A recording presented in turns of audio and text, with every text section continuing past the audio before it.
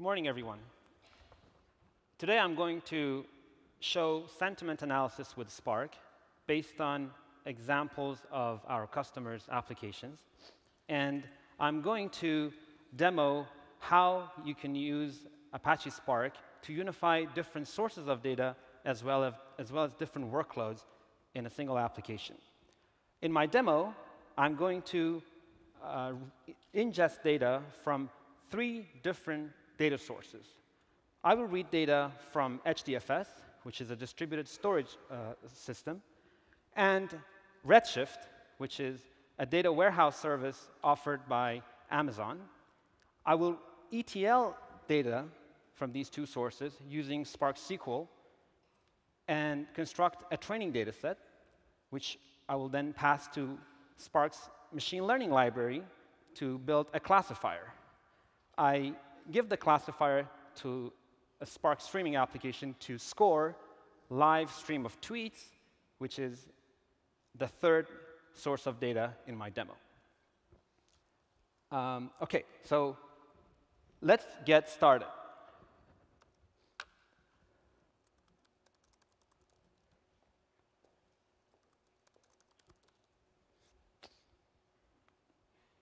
So I open the, the Databricks uh, workspace, and this is where uh, we run all our Spark applications. I have asked our data engineering team to dump uh, tweets for the past few days, and they have been doing so and storing them on an HDFS cluster in JSON. So as a first step, I am going to uh, read and explore the data. So for that, I'm creating a notebook, and I choose R uh, to explore my data, uh, primarily because it is the latest addition to Spark and Databricks notebooks. But you can do this exploratory analysis in Scala and Python as well. So let me zoom in, zoom in a little bit to make sure everyone in the back can see, can see my code. Excuse me. So as a first step, I'm going to uh, read the data from HDFS.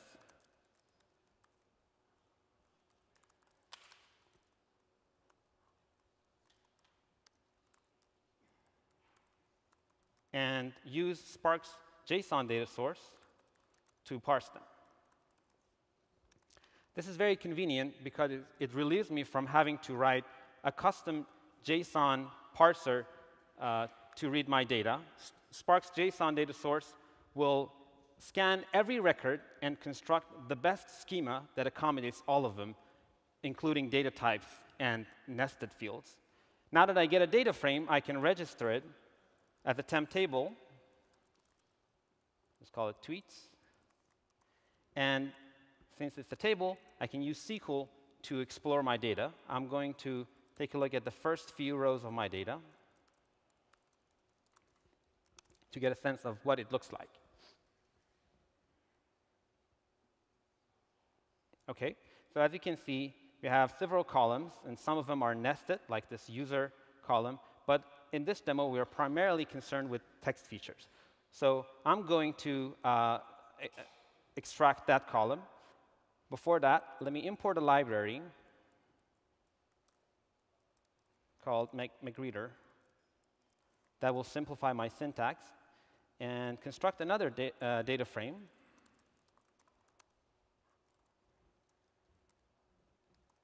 using this pipe operator that is enabled by the library that basically consists of uh, the lowercase text field. And I'm adding two more columns. The first one, I'm calling it is happy. And it's a flag that is set when the text field contains uh, the happy smiley face. And a second column that is very similar. And I call it sad, which is going to be set when we see the sad face. And since I'm going to be interacting with this data multiple times, I cache it. Now, I'm going to ask Spark to materialize the cache by counting the number of rows in my data. So now Spark will fetch the data from, from HDFS and construct the two new columns that I just created and keep it in the memory of the workers in my cluster, and also return the number of rows. As you can see, we have about 70 million tweets. But I would like to know how many of them have either of those two uh, um, uh, smiley faces. So I perform a simple aggregation and count to get the numbers. And when I display it,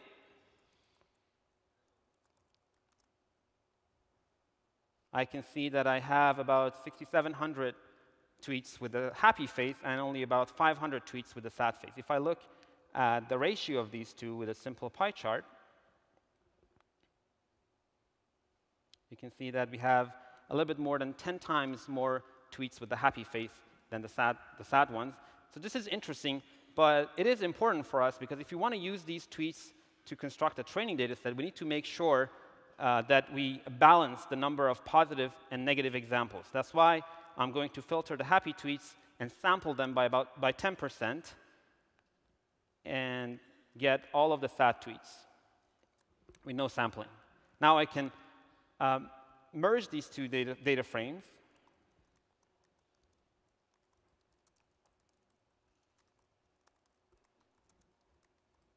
and register them, the, the merged data frame as a temp table and call it tweet data. OK, uh, now I'm going to repeat this process for the second data set that I have access to, to hopefully get uh, more examples. So I will clone this notebook. The second data set are product reviews stored in Amazon Redshift. So I call it reviews. And attach my notebook to the cluster because I don't want to uh, reveal my passwords, I'm going to run a notebook that populates some uh, uh, environment variables with my passwords. And then I am going to use Spark's Redshift data source to read data from Redshift. Right after that, I will uh, I ca call cache on my data frame and ask Spark to count it so the cache gets materialized. The Redshift data source will connect to Redshift and fetch all the contents of this table called reviews.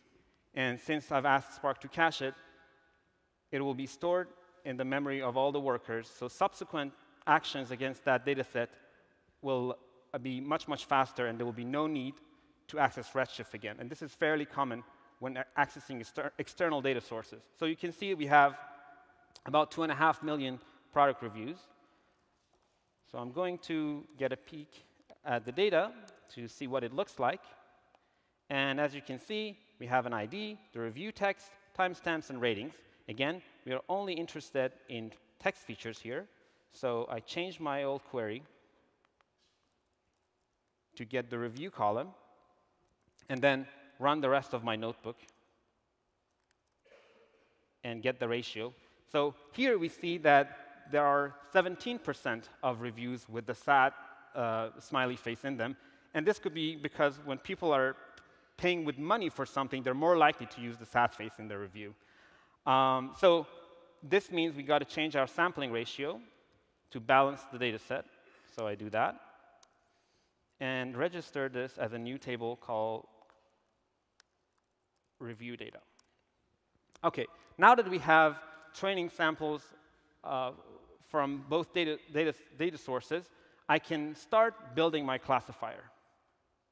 So now I'll create a new notebook, call it sentiment analysis. And this time I choose Scala, uh, primarily because the machine learning team at Databricks has already written a notebook in Scala for sentiment analysis, and I would like to reuse their work. So I connect my notebook to GitHub.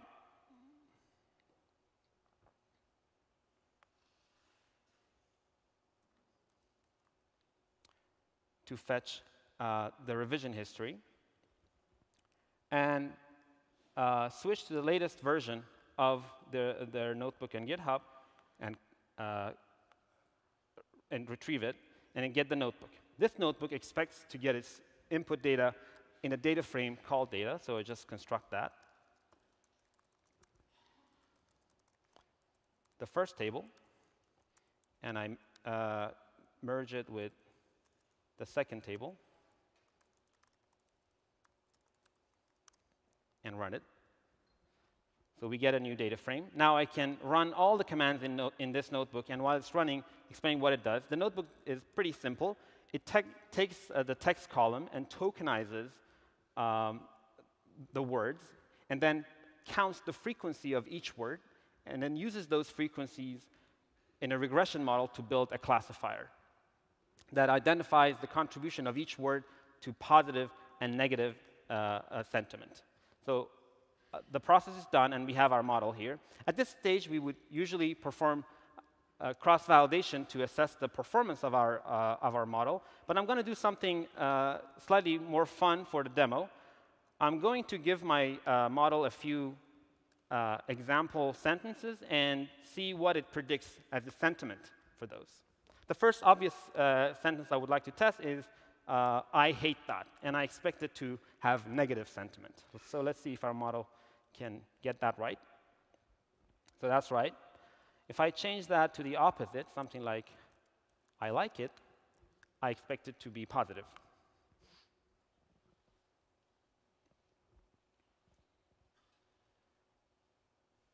So it is positive. Um, I actually uh, would like to use this to uh, get uh, the opinion on other topics. For example, the US elections is going on, so I was curious about one of the candidates. So let's see what our model thinks about that.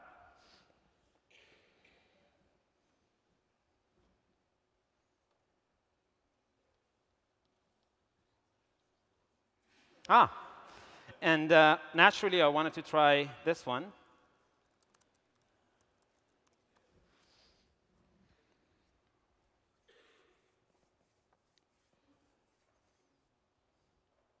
And it's different. So our model seems to have its opinion about, about elections.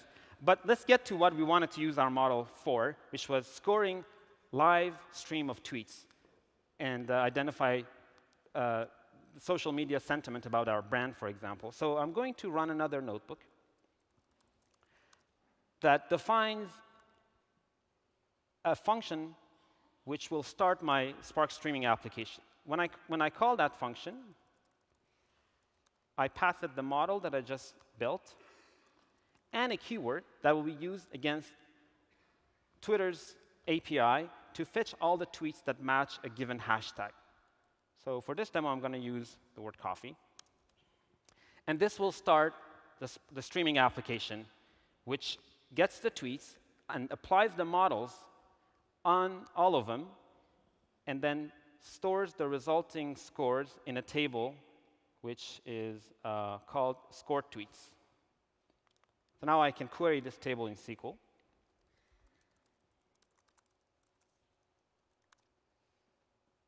And here are some examples. So uh, there is a happy one. We need help with volunteers. And there's a sad one. Grab your coffee. We see you have there. You see you see you there.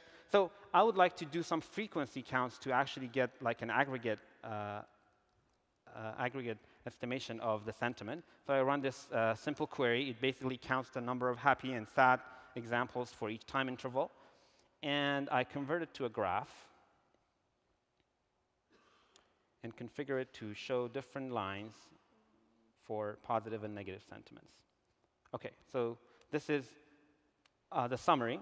But because I want to share it with everyone else at my company, I'm going to create a dashboard and call it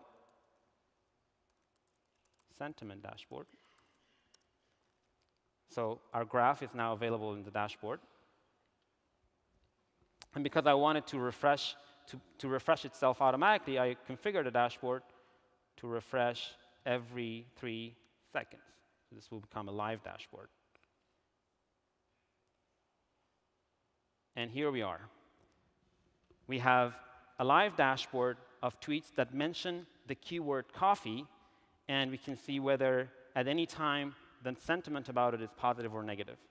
And that shows how we could ingest data from different data sources, use them in multiple components of Spark, and then uh, build a, a, an application which uh, gives us the answer to the questions we're looking for. Thank you.